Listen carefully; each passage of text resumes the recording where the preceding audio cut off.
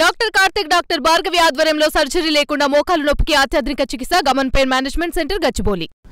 Bapatla జిల్లా ఉప్పరపాలెంలో ఉప్పరపాలెంలో గ్రామ పెద్దను నిర్ణయించుకునే సమయంలో రెండు వర్గాల మధ్య ఘర్షణ చోటు చేసుకుంది. ఈ ఘర్షణలో పలువురికి గాయాలయ్యాయి.